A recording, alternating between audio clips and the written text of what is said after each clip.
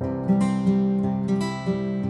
we have another great case for full mouth reconstruction. Patient came with multiple missing teeth, broken down teeth. We started the surgery early morning.